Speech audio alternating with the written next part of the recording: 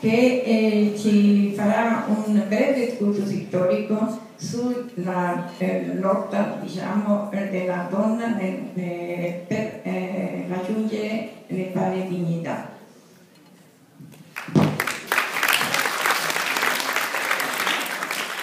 Buongiorno a tutti, saluto in particolare la professoressa Paiares, presidente della FIDAPA della sezione Penisola Sorrentina, le autorità presenti, il eh, Presidente della Suprema Corte di Cassazione, il Magistrato Ferdinando Imposimato, tutti quelli che hanno accolto il nostro invito, in particolare le ragazze e i ragazzi.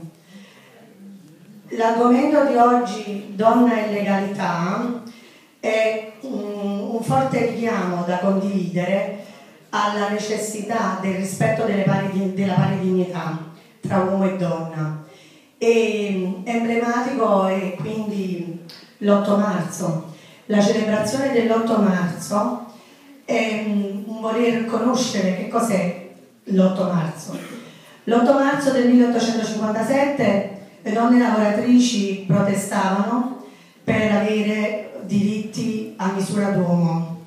Furono disperse dalla polizia tra la folla.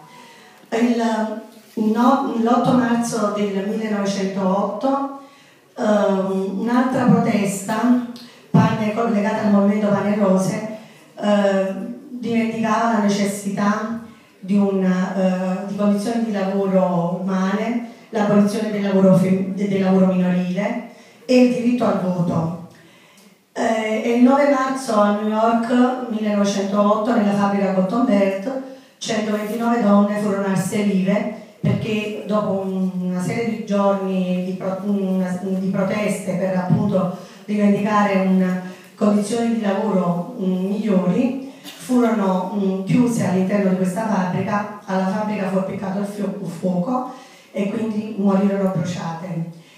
Nelle vicinanze di questa fabbrica c'era un albero di mimosa, questa bellissima infiorescenza che è un simbolo per me eh, tragico e luminoso nello stesso tempo Tragico perché ricorda la morte di tante donne, luminoso perché ehm, l'espressione della necessità della, eh, della pari dignità.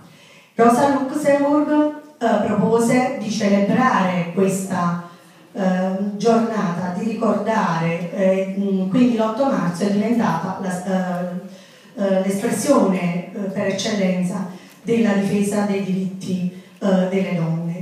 Dei diritti delle donne significa rispetto della pari dignità tra uomo e donna ehm, come fonte di arricchimento, non lotta tra i sessi.